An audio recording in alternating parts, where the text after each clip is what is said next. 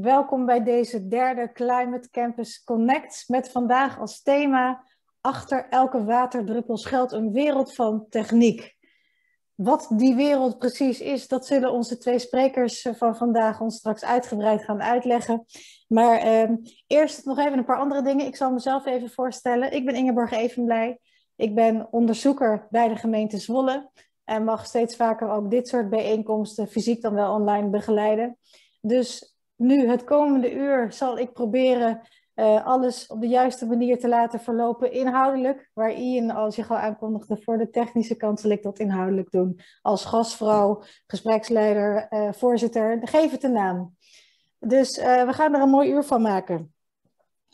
Um, vandaag Climate Campus Connect, wat is dat eigenlijk? Het is een initiatief van de Climate Campus. Dat is een netwerkorganisatie van zo'n 40 organisaties die zich gezamenlijk inzetten uh, om oplossingen te vinden tegen de klimaat of voor de klimaatveranderingen. Dus op een vernieuwende manier proberen deze partijen samen te werken uh, om uh, ja, de, de, de, de regio Zwolle, de IJsselvechtdata, klimaatbestendig te maken, economisch krachtig en zelfbewust die partijen, dat zijn gemeenten, waterschappen, provincie, bedrijven, onderwijsinstellingen, woningcorporaties, scholen, zei ik al, uh, inwoners, dus heel divers. En die werken daar dus in samen. En deze webinar is een initiatief van die Climate Campus. En via dit soort bijeenkomsten probeert men u en andere partijen te informeren, te inspireren en verbindingen tot stand te laten komen.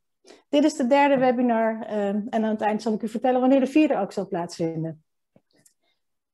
Tot zover eigenlijk dit. En volgens mij kunnen we dan ook beginnen met het programma. Ik zei al, we hebben twee sprekers, twee boeiende sprekers vandaag. En het lijkt me goed dat zij zichzelf eerst even voorstellen voordat we straks echt de inhoud ingaan. Monique de Groot van Touw. Zou jij willen beginnen jezelf voor te stellen door kort aan te geven wie je bent, wat je doet, misschien waar je vandaan komt? Ja, dat wil ik zeker. Ja, mijn naam is dus zo, ja, helemaal niet te groot. Ik werk als uh, strategisch adviseur klimaatadaptatie bij Touw. Ik ben van achtergrond de stedenbouwkundige, maar eigenlijk al uh, meer dan 15 jaar vooral bezig op het raakvlak dus ruimtelijke ordening en, uh, en de klimaatadaptatie. En in, in mijn dagelijks werk hij begeleidt ik gemeentes, waterschappen, provincies uh, uh, bij het maken van een klimaatuitvoeringsplan. En zoals mijn achtergrondje al doet te vermoeden, uh, hou ik me ook veel bezig met hitte en, en aanpalend op droogte. Dus daar ga ik straks iets over vertellen. Dankjewel Monique. Dan Floris Bogaert. Ik zou kunnen zeggen lector Hans Hogeschool Groningen, maar het is nog veel en veel meer.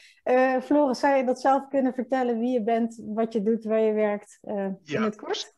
Ja, precies. Ik ben uh, lector de klimaatadaptatie bij de Hans Hogeschool Groningen. Daarnaast ben ik ook consultant bij Deltaris. En ik ben ook onderzoeker bij het Global Center of Adaptation. Uh, en uh, nou ja, ik doe veel onderzoek naar klimaatadaptatie. Daar ga ik straks wat over vertellen. En een hobby dat ik heb is dingen onder water zetten. Daar gaan we zo meteen ongetwijfeld nog heel veel van terugzien. Um, Monique, jou zien we in het tweede deel van deze, van deze bijeenkomst ook weer terug als je ons gaat vertellen over klimaatbestendig stedelijk groen. Uh, we beginnen met Floris, maar voordat ik het woord geef aan Floris, willen we een andere introductie geven via een filmpje, waarin eigenlijk al best duidelijk wordt wat Floris zo al doet. Uh, Ian, zou jij dat filmpje kunnen starten?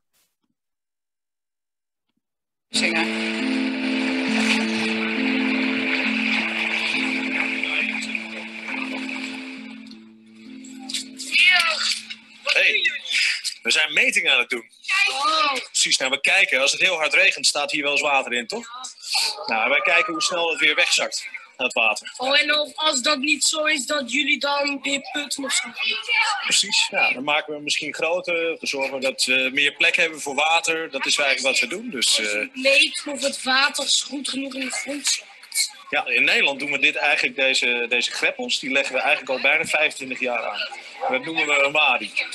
En was het goed, goed of niet? Ja, dit is, dit is een redelijk goede, goede wadi. Alleen je ziet op sommige plekken, ja, nu staat er water op. Ja. Maar waar het gras iets minder groeit. Uh, ga je dit niet nog Dus daar gaan die plekken waar het gras minder goed groeit, bedoel je dat, dat daar te weinig water komt of te veel? Ja, dan kan het niet de grond niet zo goed in. Dus overal waar gras groeit, Daar heb je goede wortels in de bodem.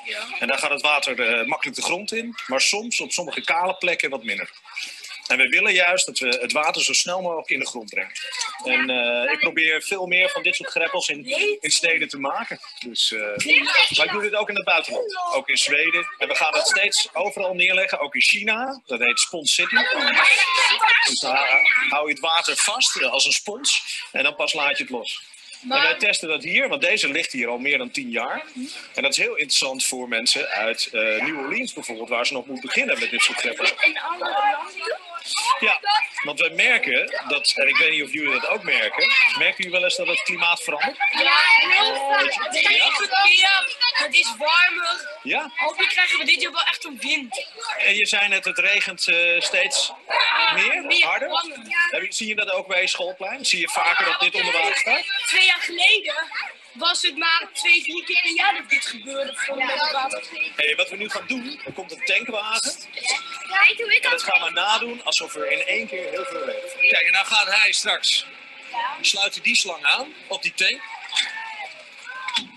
Ben je er klaar voor? Wie niet nat wil worden, een stukje naar achteren. Ja, daar komt hij. Harder, harder, harder, harder.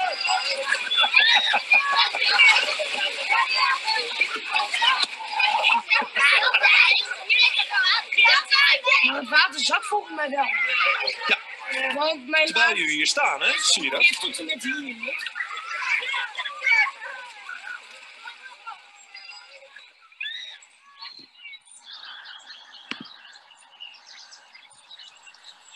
Nou, we zijn in de on... Dankjewel, Ian.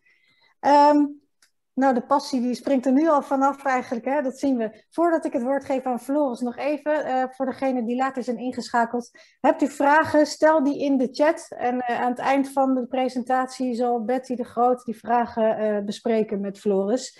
Maar dan nu, ik ben heel benieuwd naar je verhaal, Floris. Dus ik geef graag het woord aan jou. Ja, hartstikke mooi, dankjewel. Even mijn scherm delen. Zo. Ik denk dat deze film al een beetje uh, in ieder geval inzicht geeft in uh, wat ik wilde vertellen. En een video kan dat vaak veel beter. Er is in ieder geval gevraagd om even te, vragen, te vertellen over groen-blauw. wat is het, waar liggen ze, werken ze? onderzoek, zoals in deze video ook zag.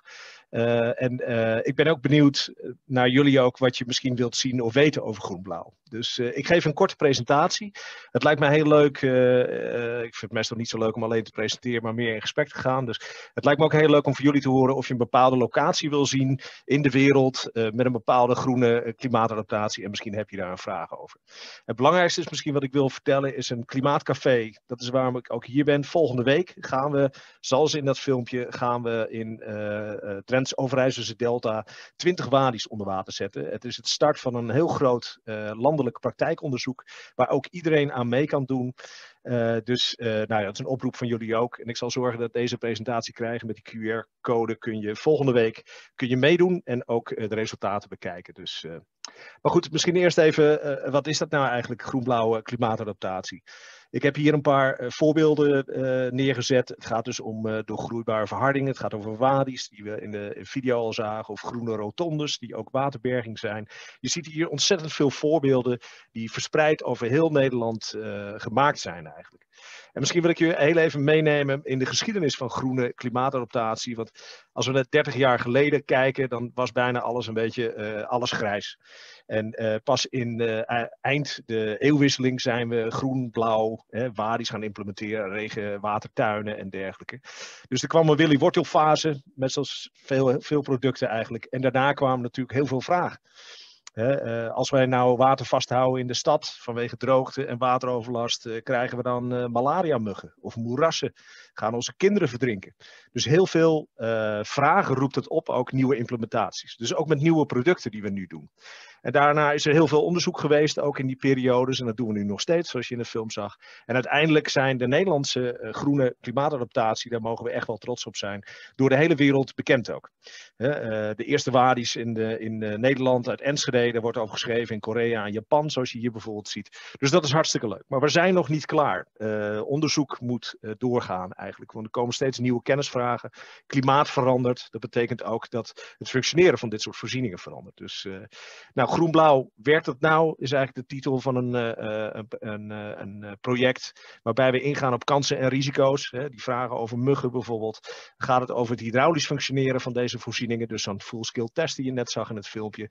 Ook dingen die je niet ziet, milieutechnisch functioneren. Hoe zit het met zware metalen die in regenwater zitten en uiteindelijk in een groenvoorziening terechtkomen. Maar ook niet onbelangrijk, wat vinden bewoners ervan? Uh, en net in het filmpje zie je ook dat nou, dingen onder water zetten een heel leuk gesprek kan opleveren. En geeft onderzoekers als ik ook heel veel informatie daarbij. En natuurlijk biodiversiteit. Waarom zijn uh, de meeste groenvoorzieningen altijd alleen maar gras? En waarom benutten we dat niet ook om de, de uitdaging qua biodiversiteit aan te pakken? Dus hier twee plaatjes. Het gaat over wateroverlast. Het gaat over uh, toekomende hitte, maar daar zal Monique meer over vertellen. En het gaat natuurlijk ook over droogte. Rechts zie je een plaatje van een, uh, een uitgedroogde uh, groenvoorziening, eigenlijk een wadi, die in dit geval heel anders functioneert dan bijvoorbeeld een hele mooie groene wadi. Dus wat doe ik? Nou, dat zag je al in het filmpje.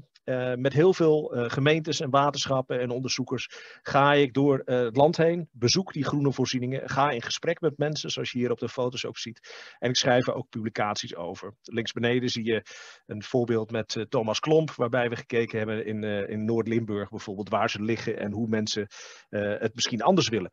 welke vragen hebben zij. En dat levert ons heel veel mooie informatie op. En juist die gesprekken te doen tijdens proeven, zoals je hier heel veel uh, voorbeelden van ziet, dingen onder water zetten, krijg je een hele leuke setting. Uh, net zoals in die film. Je krijgt een setting waarbij je in gesprek kan gaan en ook je kennis gelijk kan delen. Nou, dat project heet Groen-Blauw, uh, de Hans Hogeschool, waar ik dus lector op ben. Maar uh, doen we met heel veel hogescholen door heel Nederland heen. Doen we dat onderzoek. Hele lange tekst, daar ga ik niet te veel over vertellen. Uh, eigenlijk is dit een plaatje wat het een beetje weergeeft. Heel veel logo's, heel veel partijen die meedoen.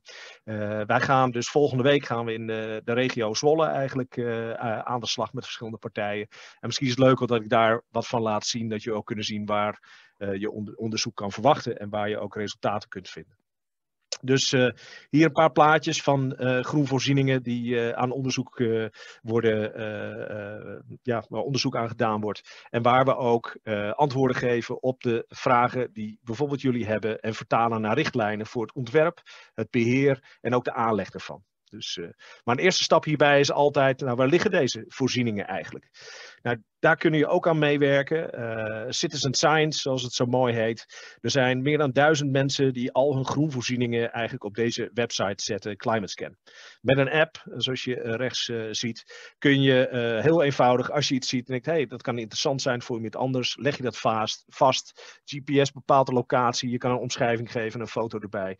En zo staan er al meer dan 6000 locaties op deze kaart, sinds 2014 dus.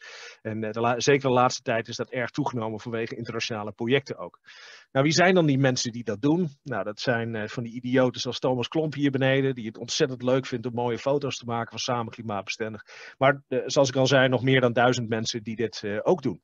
En het leuk vinden om hun kennis te delen, hun projecten, hun producten en, en noem het maar op. En dat geeft onderzoekers zoals mij heel veel informatie, omdat we vaak, als we de locatie weten, kunnen we ook nagaan welke kenmerken heeft het. Wanneer is dit aangelegd? zijn er problemen? In wat voor soort wijk ligt die? Nou, dus heel veel informatie geeft dat waar we dan weer iets verder kunnen. En dan kan ik weer kijken van nou, waar liggen alle wadi's in Nederland bijvoorbeeld. Er zijn heel veel vragen over, kan ik bijvoorbeeld in laag Nederland wel een wadi aanleggen met hoge grondwaterstanden, een slecht doorlatende bodem? Nou, op het plaatje hier zie je gewoon dat door heel Nederland bijvoorbeeld wadi's worden aangelegd. En ik laat je zo even zien hoe je dat makkelijk ook kan doen. Dat kan niet alleen bij wadi's, maar ook voor ondergrondse voorzieningen en voor allerlei uh, uh, mooie uh, publicaties daarbij. En je kunt ook, als je veel mapt, een paar van die duizend zijn bijvoorbeeld mensen van de gemeente Groningen, gemeente Enschede, die al meer dan 100 projecten in hun gemeente hebben gemapt. En daarvan kun je dus ook bepalen wat het DNA is eigenlijk van de stad. bij Enschede zal je niet verbazen dat misschien wadis veel meer naar voren komen. En bij Groningen misschien meer groene daken vanwege het subsidieprogramma die ze hebben. Dus je kunt daarmee hele leuke analyses maken. Maar we gaan het niet hebben over Enschede en Groningen. De meeste mensen komen uh, uit Overijssel volgens mij hier. Volgende week gaan we naar, uh, van Deventer naar Raalte, naar Zwolle natuurlijk, naar Meppel en Westerveld. En gaan we Wadis onder water zetten met die hogescholen die je hier rechts ziet, met verschillende bedrijven ook die je daarboven ziet, in het kader van projecten, uh, Raak SIA-project onder andere en Interreg-project uh, What Go Governance en de gemeentes natuurlijk links die uh, toestemming hebben gegeven om de wadis ook onder water te zetten en daar ook echt actief aan meehelpen. Dus met name ook aan hun de dank ook en natuurlijk het, het waterschap WDOD in dit geval. Dus nou, is een heel gedetailleerd programma. Maar ik neem ook aan dat jullie een baan hebben en niet alles kunnen doen. Dus met name op vrijdag is het heel leuk uh, om even aan te sluiten wat het onderzoek heeft opgeleverd. Ik laat zo die QR-code nog even zien. En uh, nou, om een voorbeeld te geven, maandag gaan we uh, allerlei presentaties van die gemeente zelf. Welke uitdagingen zien ze, wat willen zij weten. Dinsdag en woensdag gaan we het veld in, hè, naar de gemeentes die ik net noemde. En uh, dan mogen de studenten in ieder geval oplossingen verzinnen op, op donderdag. En dan vrijdag krijgen we natuurlijk fantastisch mooie resultaten te zien waar ik nu al zin in heb. En we gaan dan naar gemeentes die je misschien, waar je niet zo vaak komt. Bijvoorbeeld in Raalte maar bijna een capital of uh, wadis bijvoorbeeld, zoals je hier ziet. Hele mooie foto's ook van dit soort wadis en ook een paar die onder water staan na regenbuien. Dus we gaan heel veel informatie verzamelen.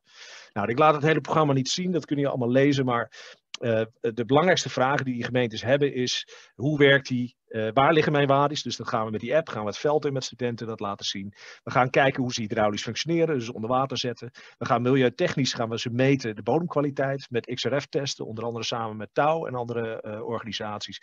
We gaan participatie storytelling doen, dus wat je net zag, in gesprek met mensen. Uh, wat vind je hiervan? Heb je problemen? Heb je vragen? Kunnen we je helpen? Biodiversiteit, gaan bepalen welke vegetatie er is. Hè? We hopen meer te vinden dan gras bijvoorbeeld, maar ook wat voor bijen en vlinders het bijvoorbeeld aantreft. En dat is ook belangrijke informatie voor het functioneren daarvan. En het kan natuurlijk altijd beter. Dus we gaan werken aan oplossingen. Met name door de problemen die uh, genoemd zijn dan voor, uh, de, door de bewoners uit de wijk zelf.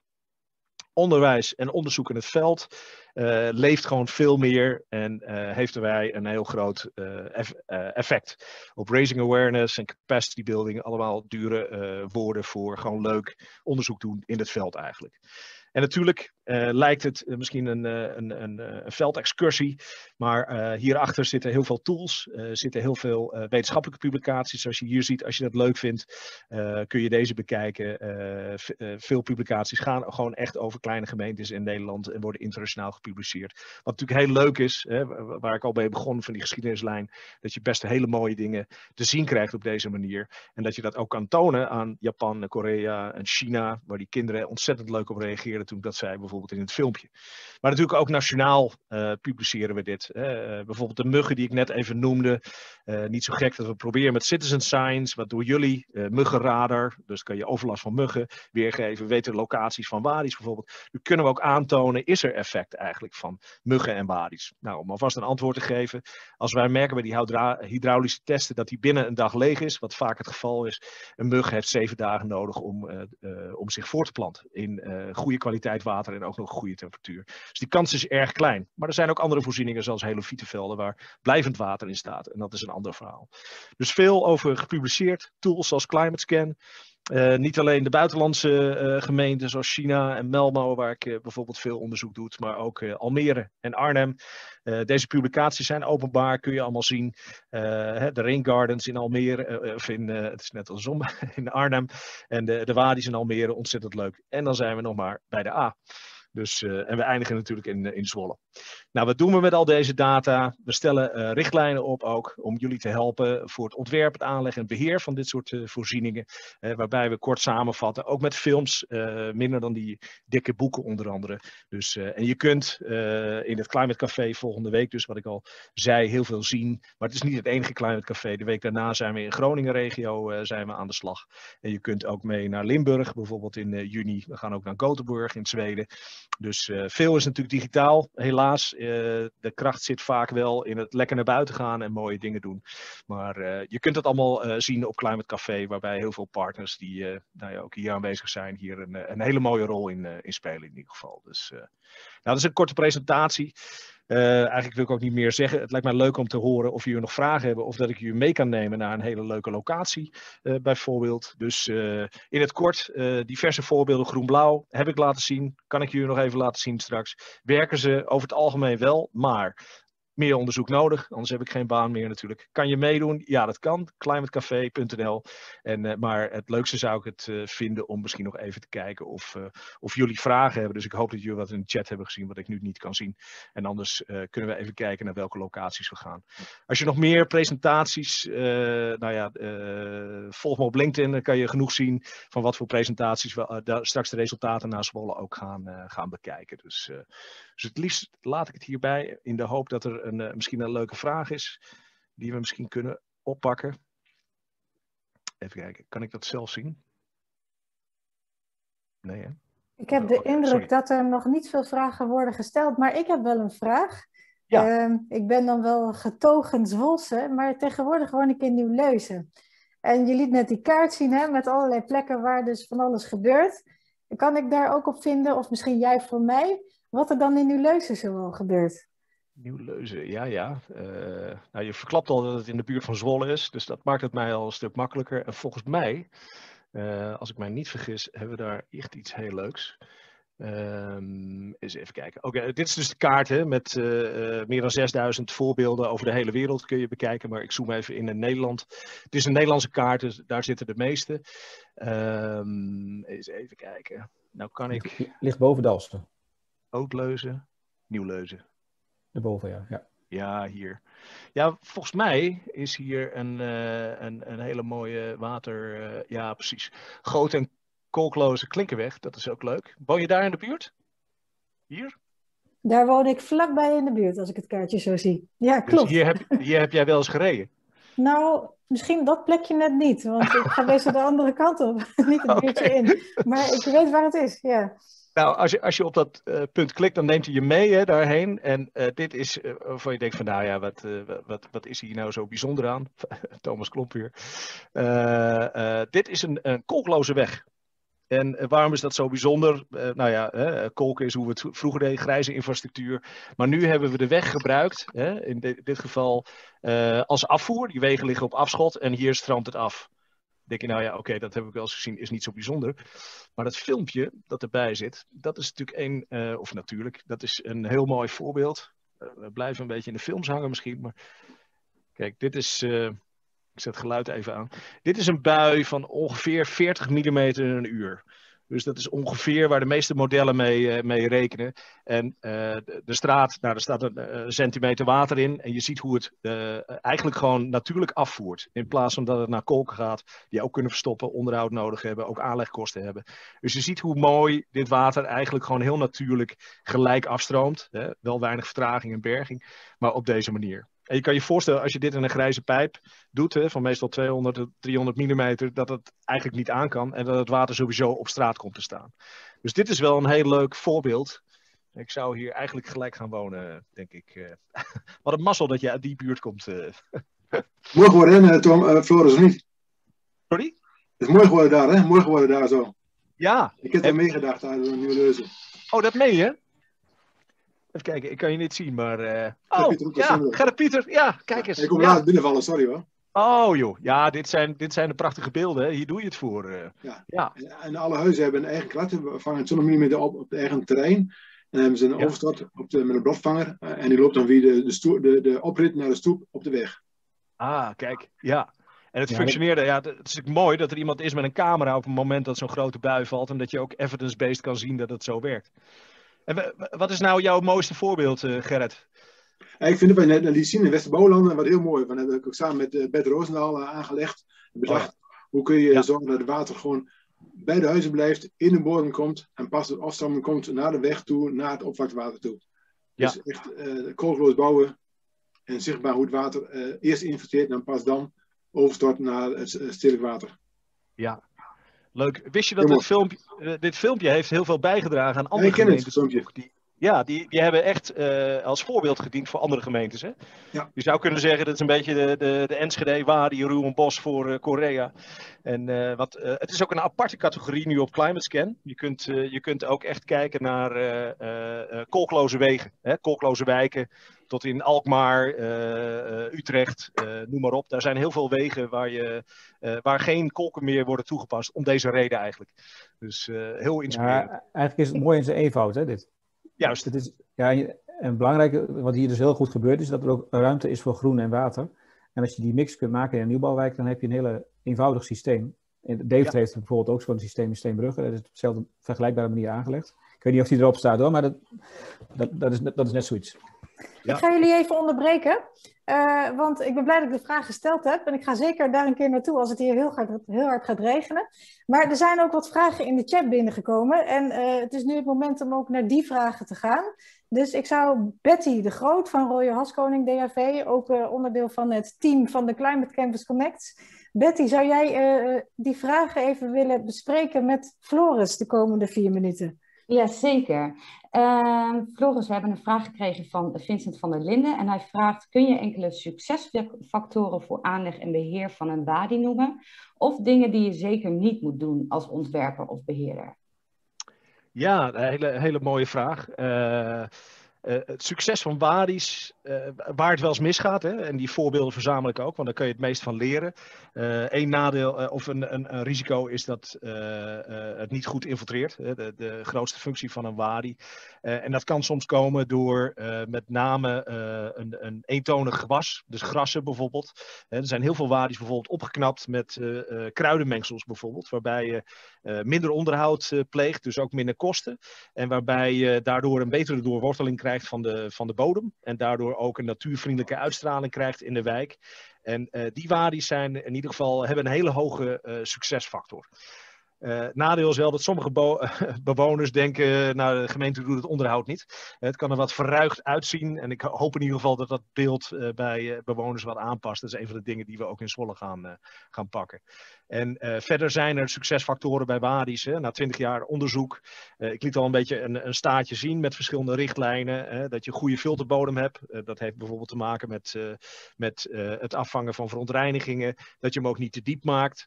mensen maken toch zorgen over nou ja, dat water te lang blijft staan. Of dat mogelijk kinderen verdrinken. Dus die, die factoren zorgen dat er een hele leuke nou ja, succesfactoren zijn, denk ik, voor Wadis. En met name bestaande uh, groene voorzieningen gewoon iets lager aanleggen, is vaak al voldoende. We hoeven niet zo drastisch, hè. er zijn ook wadi's van een meter diep, met name in het oosten van het land, hè, waar de grondwaterstand uh, wat hoger is. Uh, dat hoeft vaak ook niet. Hè. Glooiend, inpassend in bestaand stedelijk gebied is eigenlijk het meeste, wordt het meest gewaardeerd, omdat het niet zo'n grote ingreep is. Ik hoop dat dat een beetje een een antwoord geeft. Ik zal nog even, er is natuurlijk veel meer, uh, maar ik zal even een link uh, met wat uh, tips en trucs over Wadi zo in de chat zetten. Mag, mag ik even aanvullen of niet? mag dat? Ja, zeker Freddy. Wat mij betreft wel. Ja. ja. Nee, wat, wat, wat wel heel belangrijk is bij, bij Wadi's, kijk, normaal gesproken doen ze het vaak wel prima, maar, maar de, de noodoverloopvoorzieningen, dat je daar ja, dat goed aanlegt, zeg maar, maar ook dat je dat dus ook echt goed beheert en ook in de gaten houdt. Ze liggen daar geen bladeren voor, ligt, is het niet verstopt. Want die buien die vallen natuurlijk maar heel af en toe. En dat je dan wel zorgt dat het systeem eh, goed kan functioneren. Ja, ja precies. Ja, ook, ook dat vind ik uh, de eenvoud die we net zagen hè, met uh, kolkloos. Kolken hebben we bijvoorbeeld uh, bij slokken bijvoorbeeld hebben de kans dat ja, ze kunnen ja, vers, ja. verstoppen. natuurlijke overgangen die in Deventer, nou ja, dat weet jij als geen ander natuurlijk, Freddy die daar jaren mm -hmm. gewerkt heeft. En ook in Zwolle, waar we volgende week ook onderzoek gaan doen. die, ja, daar zitten een paar mooie succesfactoren bij, denk ik. Dankjewel, Floris. En de tijd gaat snel voorbij, dus um, ik ga voor dit onderwerp jou nu bedanken. Uh, we willen Monique ook nog ruim de tijd geven om haar verhaal te doen, maar aan het eind kom ik ook weer bij jou terug, bij jullie samen. Misschien kunnen we dan nog wat extra vragen bespreken. En voor degene die een vraag in de chat hebben gezet, die dus nu niet is behandeld, er komt altijd een antwoord. Is het niet tijdens de bijeenkomst, dan is het wel erna. Dus dankjewel, Floris. Uh, dan gaan we door naar ons volgende onderwerp. Dat gaat over het klimaatbestendig stedelijk groen. Ehm, en Monique de Groot van Touw heeft zich net al voorgesteld, zal ons daar van alles over gaan vertellen. Dus Monique, ik geef nu graag aan jou het woord.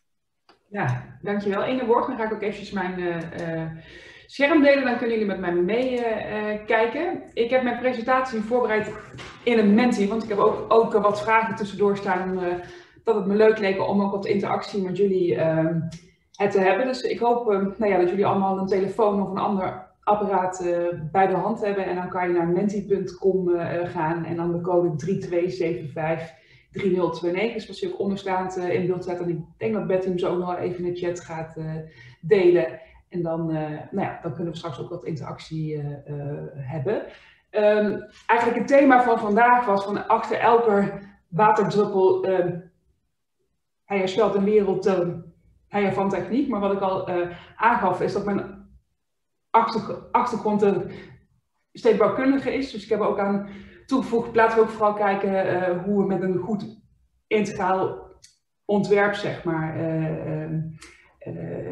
het hij voor elkaar kunnen krijgen. En dat dan eigenlijk de, de techniek daar nog aanvullend op kan werken. Dus daar ga ik vandaag ook iets over uh, vertellen hoe we dat doen uh, binnen het onderzoeksprogramma wat hiervoor gaat uh, lopen.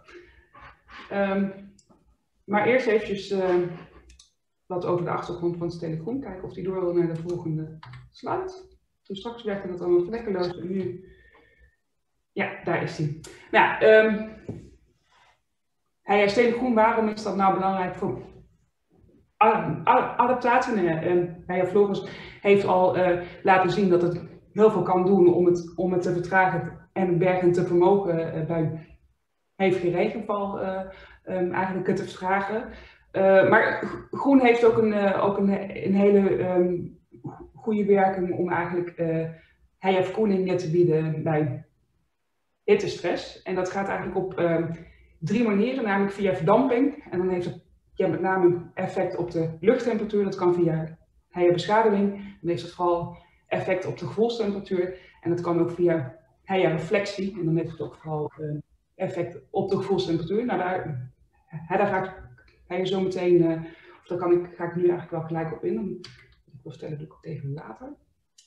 Um, ja, um, het verschil tussen de luchttemperatuur en de gevoelstemperatuur is eigenlijk dat de ja, de, luchttemperatuur is eigenlijk uh, de temperatuur die we natuurlijk meten op het thermometer. Maar dat is ook wat we elke avond, zeg maar, ook op het weerbericht um, zien. En het verschil is dan ook dat um, de temperatuur die we daar horen, is de temperatuur die eigenlijk gemeten wordt in het buitengebied.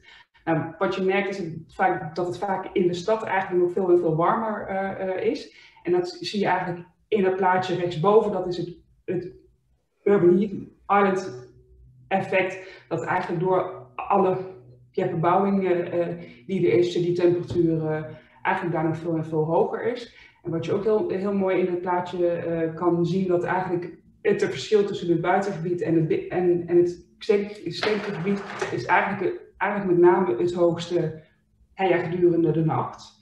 Nou, de, de gevoelstemperatuur is eigenlijk een, een, een andere maat en het is eigenlijk een betere maat om ook te kijken naar hittestress. En dat komt omdat de, de gevoelstemperatuur een, een combinatie is van ten eerste de, de, luchttemperatuur, maar ook de luchtvochtigheid, de wind um, en ook straling. Nou, je kan je voorstellen dat als je onder een, onder een boom staat, het veel koeler voelt dan dat je in het open veld staat, zeg maar, in de een brandende zon.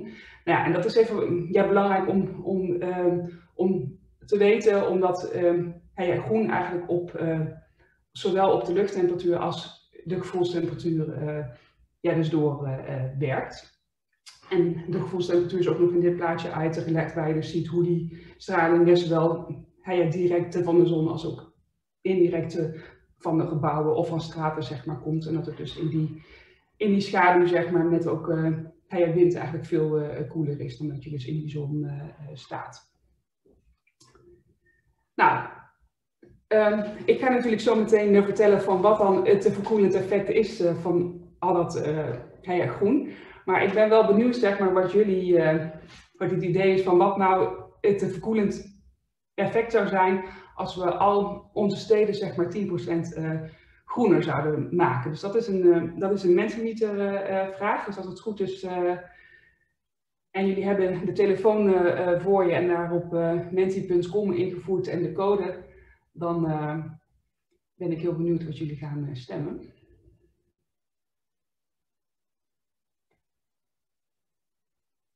Nou, ik zie al dat zo'n 10 mensen hebben geantwoord. Ik weet niet precies hoeveel er in de meeting zitten, maar ik laat hem nog heel even doorlopen. Uh,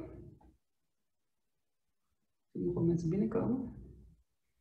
Nou, het is een, uh, het is een nek-aan-nek race tussen de 1 uh, en de anderhalf. Maar het antwoord is dat eigenlijk dat nog best wel tegenvalt. Want het is namelijk maar een halve, halve graad luchttemperatuur, zeg maar, die het eigenlijk, eigenlijk biedt. Maar ja, Hè, dus desalniettemin kan natuurlijk de vergroening wel bijdragen aan die luchttemperatuur. Maar ik ga zo laten zien wat dat dan doet met de gevoelstemperatuur.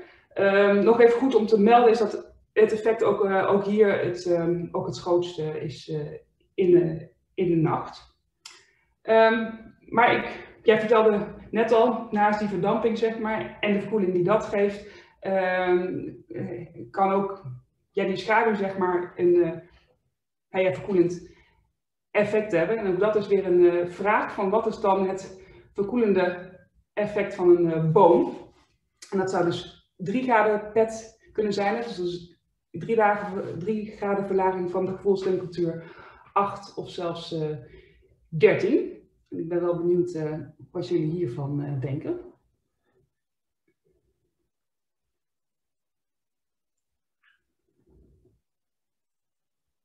heb ik niet gekeken hoeveel mensen er net waren. Dus ik kan niet bijhouden of iedereen uh, al heeft gestemd. Maar volgens mij blijft het aardig stil. Ja, ook nu is er maar één iemand uh, die het goed heeft. Want zo'n boom doet, uh, doet, dus wel heel erg veel. En hij, hij kan tot hij 13 graden verlaging bieden. Het is natuurlijk wel heel erg afhankelijk van het type en de grootte van de boom. Je kan je voorstellen dat een een grote boom met een hele, hele dichte kroon hij veel meer koeling biedt. En wat hier ook nog wel interessant bij is, dat als de boom er ook voor zorgt dat je een schaduw op de gevel krijgt, en dus daarmee die reflectie afvangt, zeg maar, dat eigenlijk het effect ja, nog groter is. Dus nou ja, we, we, hebben afgelopen zomer, net als Floris zeg maar, veld onderzoeken gedaan. Dus we zijn met meters naar buiten gegaan en we hebben ja, toen tijdens de hittegolf eigenlijk gemeten van hoeveel graden is het nou eigenlijk koeler zeg maar, in, in de schaduw als in de volle zon. En daar uh, hebben we ook allemaal, allemaal interessante rapportages van gemaakt. Dus als je daar nog meer over wil weten, dan nou ja, hè, jij wil naar me weten, dan kan ik je ook altijd nog toe sturen. Maar ja, ehm, het thema van vandaag is natuurlijk ook droogte. En al dit, al dit groen heeft natuurlijk wel water nodig. Want je kan je afvragen hoeveel verdamping nou ja, dat linker gasveld nog biedt. Of hoeveel schaduw zo'n boom nog biedt als die al zijn blaadjes heeft laten vallen, omdat hij geen, hij geen water krijgt. Nou, dat is iets wat we de komende maanden willen gaan onderzoeken binnen het onderzoeksprogramma van het Nationale Kennis en Innovatie uh, Water en en klimaat, kortweg NKWK. En eigenlijk hebben we daar vier, vier vragen centraal staan. De eerste is, um, wat voor omstandigheden kenmerken nou eigenlijk zo'n periode van droogte? Um, waarom ontstaan dan welke schades aan het groen? Nou, over welke bedragen uh, hebben we het dan eigenlijk? Dus wat zijn de schadekosten uh, daarvan? En dan moet je dus denken aan heienbomen die doodgaan. Maar ook aan ja, groen wat extra water uh, nodig heeft, wat ja, natuurlijk ook gewoon arbeid kost. En de laatste vraag, en daar wil ik eigenlijk nu wat dieper op ingaan, uh, van hoe kunnen we die schades voorkomen door uh, ja, te kiezen voor droogtebestendig groen. Maar dan, nou, dan eerst even, um, wat is droogte? Hè? Um, dat, dat dat plaatje rechtsboven is, is, de, is de, grafiek van het KNMI die je misschien wel kent, die het neerslagtekort eigenlijk aan um, hij geeft. Dit plaatjes van vorige week. Dus dan zie je nou ja, eigenlijk de prognoses in die zwarte lijnen tot aan mei en de prognose van wat we de komende, de komende weken nog verwachten. Nou, die blauwe lijn is eigenlijk het gemiddelde. Dus dan zie je eigenlijk dat het heel normaal is dat we in die periode van april tot en met september eigenlijk een neerslagtekort hebben. Maar dat hoeft dus nog helemaal geen probleem ja, te zijn. En als je dan naar die rode lijn kijkt, dat was het Terekoya uit 1976, of ja, grijze lijn, dat was 2018, dan zie je dat het echt, echt wel veel en veel um, extreem is. En dan kan er dus ook een bodemvochttekort uh, ontstaan. En dat, uh, ja, dat kan je zien in het plaatje daar, daar, daaronder, dat er eigenlijk zoveel water ja, verdampt dat er eigenlijk geen vocht meer in die, in die, in die bodem zit. Nou ja, en daar, ja, daar kunnen planten natuurlijk last van krijgen als we dan, als we dan met hun wortels zeg maar, geen water meer kunnen krijgen. Nou, dan heb je nog een andere vorm van droogte en dat is eigenlijk de hydrologische droogte. En dat betekent dat ook al, dat alle grondwaterstanden ook uh, ja, daarmate zijn uitgezakt dat er eigenlijk ook geen levering meer is van dat grondwater naar uh, die te zonnen. Dus dat even als een stukje theorie nog, uh, nog tussendoor. Um, maar ja, ik had het er net al over. Ja, die laatste vraag, wat is dan uh, droogtebestendig groen? En daar zo, ben ik eigenlijk wel benieuwd naar wat jullie daarover denken. Dus ook daarvan heb ik weer een, weer een Mentimeter vraag van gemaakt. Dus nou ja, alles wat in je opkomt, roep het.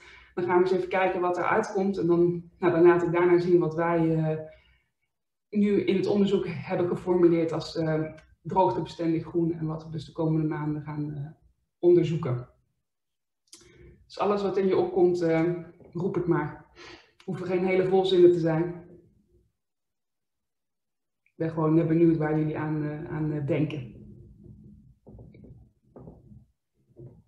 Zuid-Europees, sedum zie ik al.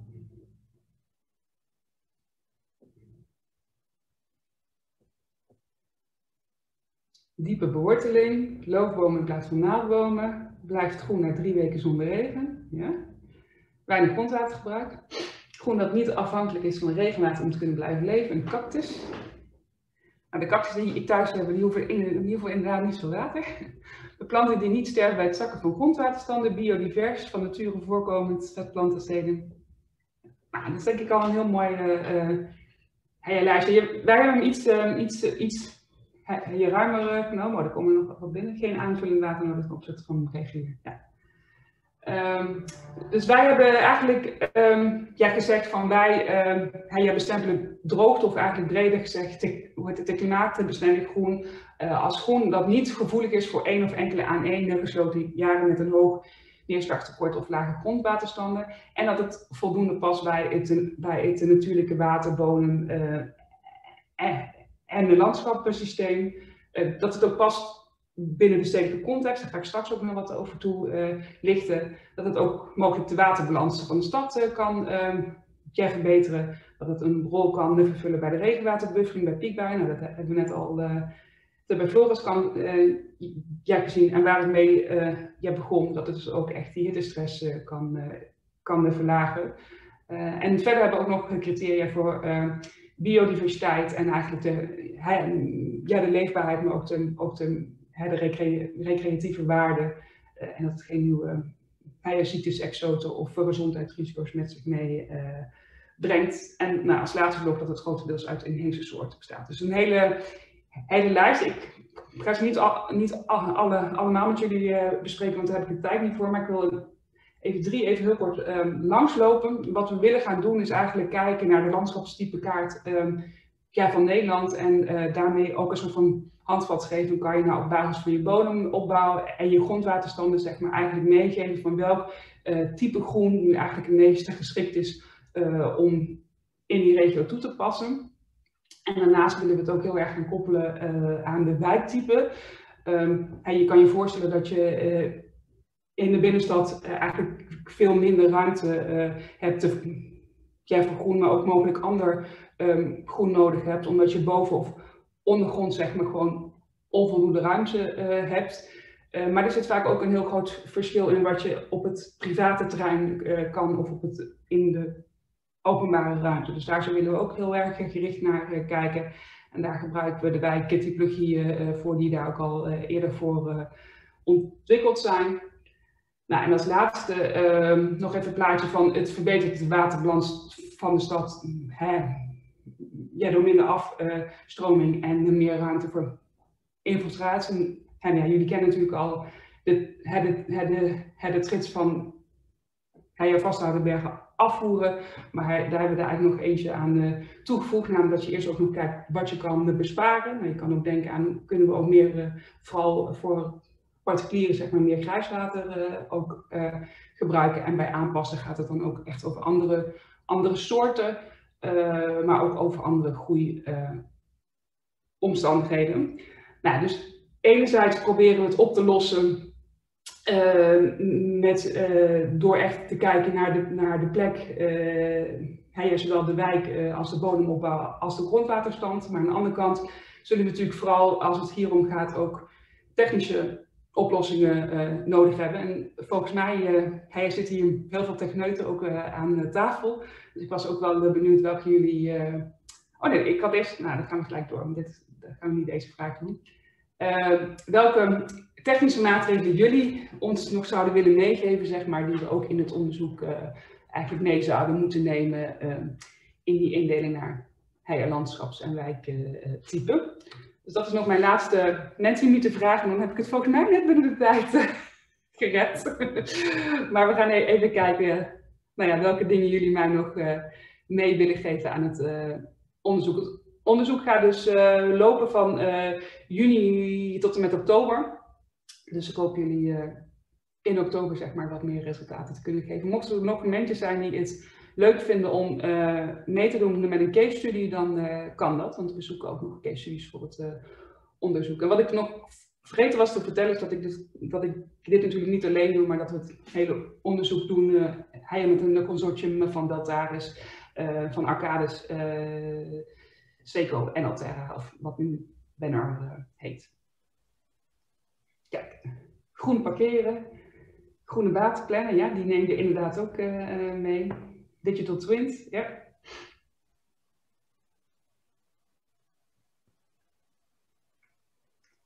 Combi met de energietransitie. Ben ik wel benieuwd wie die, had, wie die heeft genoemd. Is, is dat vooral de koelte? Uh, hij heeft vragen of waar uh, duidt deze op? Ik weet niet of, daar ruimte voor is, dat iemand daar even... Ik, heb hem genoemd. Uh, mijn gedachte was van ja, hoe, dat is vaak de vraag. Uh, hoe, hoe combineer je het met de energietransitie? allerlei technische maatregelen. Ja, jij is een goede, hè? vooral ook, ook de koeltevraag, um, die nu toch vaak wordt onderschat. Dus ja, ja. bodemverbetering zie ik inderdaad ook opkomen en maximaal importeren. Nou, dank allemaal voor deze tips. Die gaan we zeker meenemen. Mee uh, als je nog meer dingen hebt, ik laat hem nog even open uh, staan. En anders dan, uh, dan laat ik het hierbij. Dus ik weet niet of er al vragen zijn in de chat. Die heb ik nog niet gezien, maar dat weet Betty vast. Dankjewel Monique. er zijn niet heel veel vragen, dacht ik, maar dat weet Betty inderdaad precies. dus Betty, zou jij ons willen meenemen in de vragen die zijn gesteld via de chat? Jazeker. Er is eigenlijk uh, één vraag gesteld door uh, Gerrit Pieter. En hij vraagt hoe kwetsbaar is een boom in een groenstrook die 10 centimeter boven de weg ligt als er verlaging van het perk gaat plaatsvinden, zodat er water vanaf de straat kan, kan heen stromen. Wow, dat vind ik een hele... Ja, dat snap ik. ik dacht misschien wil Gerrit Pieter het nog even toelichten. want, dan, want dan bedoel je denk ik Gerrit Pieter, wat er dan met de wortels gebeurt of zo? Of kan, je hem iets toelichten? Nou, we hebben net gehad over een wijk in Zwolle. Goedemiddag allemaal. Over eh, hoe kun je water vasthouden in de wijk. Uh, je hebt heel veel perken in, in de steden waar die perken liggen 10 centimeter soms met hoger dan de straat. En er loopt geen water in. Uh, op het moment dat je gaat aanpassen, dat je water niet in, in de goot laat lopen of in een putje, maar in de, in de groen laat opvangen. Wat betekent dat voor de boom? Kan die boom het hebben? Hoe ver kun je ermee gaan? wat betekent dat? Werd de vraag door groenbeheer van, nou ja, dan gaan die bomen allemaal straks om en het wordt te nat. Dus hoe kun je adviseren hoe je omgaat met in bestaande perken staan bomen en je laat er water in die perken lopen, doordat je die perken gaat verlagen. Je moet natuurlijk de wortels wel intact houden, maar eromheen. Wat voor vernatting kan een boom hebben? Ja, ook, ook dat is volgens mij heel erg, al, heel erg afhankelijk van het type boom, zeg maar. De meeste bomen kunnen er nou ja, eh, over het algemeen wel redelijk goed tegen als ze, als ze af en toe een beetje natte voeten uh, hebben. Maar het is vooral ook de fluctuatie zeg maar, tussen, dan weer nat en, en hij, ja, dan weer droog. hij, ja, die sommigen niet goed kunnen hebben. Ik was toevallig twee jaar geleden op veldbezoek in de gemeente ja, Dronten. En daar hadden ze een, een, een aantal beuken die, die, die echt gewoon, ja, gewoon knakten om, om, om me vielen. En als je dan, en dat was hij met de kerst, zeg maar, toen was het best wel nat. En toen, en toen zag je dus dat die bovenste laag was echt nog heel erg nat. Maar daaronder was het gewoon helemaal los. En ja, gewoon zo droog dat gewoon die bomen daardoor eigenlijk, eigenlijk helemaal geen, hij geen grip meer hadden en dus om, om waren gevallen. Dus het, uh, nou, het is denk ik belangrijk om, uh, om ook deze vraag mee te nemen van als we dus inderdaad uh, in, in, in, die verlaging ook bomen willen gaan plaatsen, kijk dan niet alleen naar of ze droogteresistent zijn, maar eigenlijk is zo'n oproep van kijk dan ook of ze resistent zijn om een aantal uren of dagen. ja, ja dat, dat is inderdaad de vraag. Van, dat is inderdaad een vraag, ja. Is het een dag, zeg, als stel dat een dag dat water hoog staat en dat het, dat het water allemaal weer wegzakt in de bodem, is, dat, dan, is die boom daar gevoelig voor? Of wat voor soorten bomen zijn daar gevoelig voor? Dat zou, ja. zou wel leuk zijn als het, uh, daar ook dat onderzocht wordt. Ja, dat is het goede. Die gaan we, die gaan we zeker meenemen. Mooi, dankjewel. Um, ik uh, uh, ga Floris ook weer even wakker schudden. Um, want wat ik mij afvraag, Monique en Floris, hebben jullie, dus dan vragen jullie allebei, dan begin ik weer even bij Floris nu. Heb je een soort van einddoel dat je zegt van nou, als ik dat bereik, dan is mijn missie geslaagd? Daar ben ik eigenlijk wel benieuwd naar. Ja, mooie vraag. Ja, nou ja, ik, ik, denk dat de eindmissie is in ieder geval voor groene klimaatadaptatie dat het gewoon gemeen goed is. Dat er niet meer uh, wordt uh, gediscussieerd erover, maar dat het gewoon standaard uh, wordt in onze praktijk. Omdat we allemaal beseffen dat, en het kan niet overal natuurlijk, maar dat dat een hele goede positieve invloed heeft op, op de, de grote uitdaging die we hebben. Dus droogte, wateroverlast, hitte natuurlijk ook, maar ook biodiversiteit en ik heb soms het gevoel dat we gewoon weer terug naar vroeger gaan. Uh, ik ken mensen die uh, kanalen moesten maken uit beken en nu dezelfde kanalen nu weer beken maken. Nature-based solutions, dat, dat is mijn droom dat het gemeengoed wordt, denk ik. Ja. ja. Nou, ik heb eigenlijk wel een beetje vergelijkbaar, zeg maar. Ik werk nu um, ruim 15 jaar, zeg maar, aan de klimaatadaptatie. Nou, ik denk volgens mij wel langer. Uh, maar uh, um, het zou mooi zijn als ik over vijf jaar zeg maar uh, geen werk meer heb. Omdat alles gewoon eigenlijk automatisch gaat. En ik gewoon weer nieuwe dingen kan gaan doen. En dat we gewoon de klimaatadaptatie ook echt gewoon zien als, als iets wat ook gewoon, ook gewoon ja, de leefbaarheid van onze steden vergroot. Want ik ben er echt van overtuigd als we gewoon dingen ook gewoon beter groen en blauw door aderen dat we ook gewoon vele mooie steden krijgen. Je zegt uh, als alles automatisch gaat. En wat bedoel je dan met alles automatisch? Nou ja, ik bedoel, er is nu nog een Delta-programma ruimtelijke adaptatie. En dat is eigenlijk op gericht om dingen te versnellen. Om, om, om, omdat het toch alle, allemaal ja, dus genoeg in werd er vanuit het Rijk, zeg maar, uh, ja, gezegd, nou, waterschappen, provincies, laten we met z'n allen ervoor zorgen dat ons land vanaf 2050 ook echt klimaatbestendig uh, is. Dus daarvoor hebben gemeenten in 2019 zeg maar stresstesten moeten maken. En in 2020 daarover uh, ja, de dialogen gevoerd. En nu komen ook daar eigenlijk steeds meer die uitvoeringsprogramma's uit. En eigenlijk zou, zouden al die maatregelen die in die uitvoeringsprogramma's uh, nu dus zitten, eigenlijk gewoon onderdeel moeten worden van het beleid van de gemeente. En, dat, dat wij als adviesbureaus eigenlijk geen werk meer uh, hebben op dit gebied. Maar daar hoef je nog geen zorgen over te maken. Dat gaat nog echt wel meer dan vijf jaar duren. Ja, ik ben er ook bang voor. Nee, nee, nee, wat wel echt een uitdaging is. Kijk, Zwolle is bijvoorbeeld een stad waar, waar, heel veel gebouwd moet worden. Er moeten heel veel woningen per jaar bij komen. In ieder geval zo'n duizend per jaar.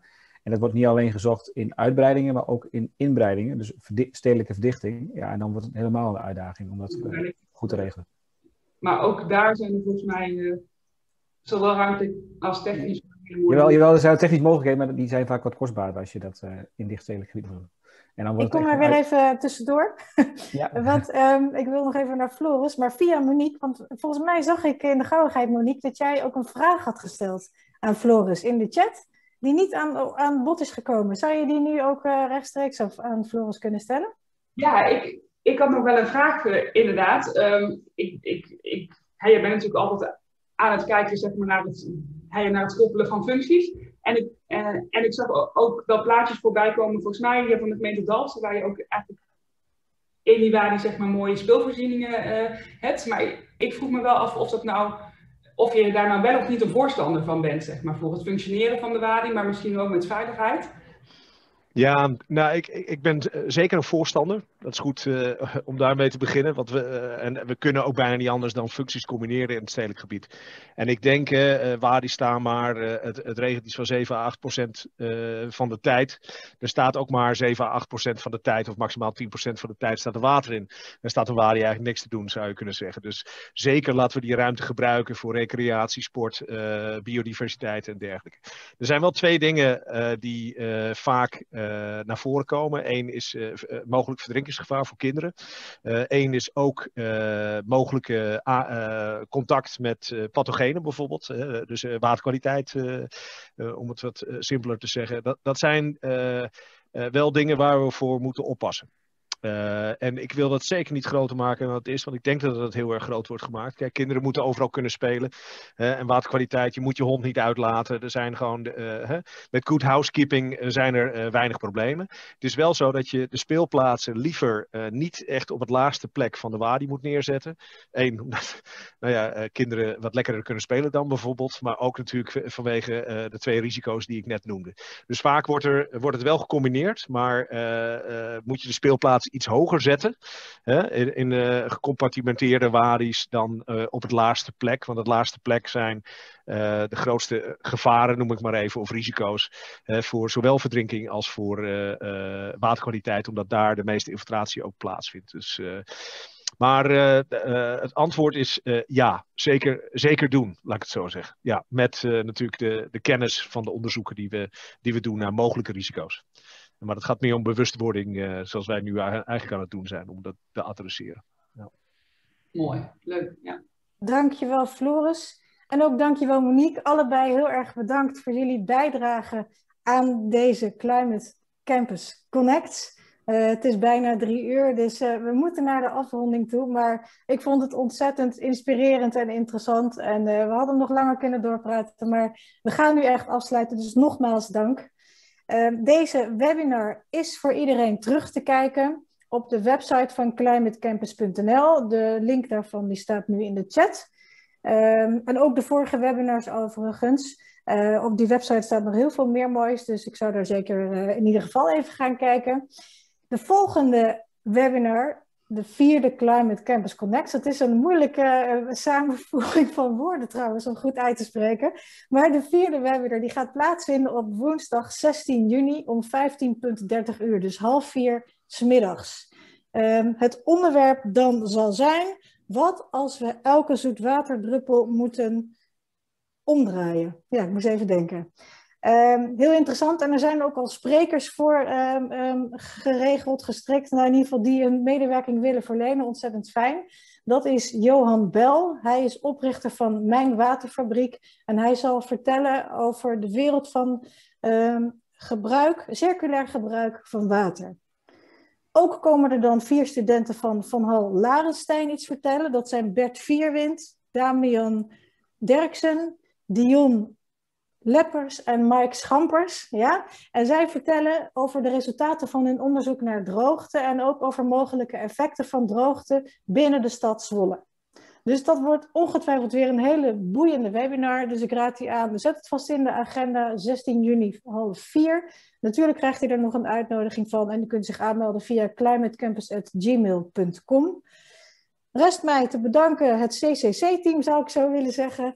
Um, Ian O'Hagan als technisch moderator, Betty de Groot als chatmoderator en de grote inspirator, animator vanuit Climate Campus, Rian Hoekman, die alle webinars eigenlijk organiseert. En natuurlijk uh, kijkers bedankt, sprekers nogmaals bedankt. En we zien u heel graag de volgende keer weer op woensdag 16 juni. Dus graag tot dan. Dank u wel.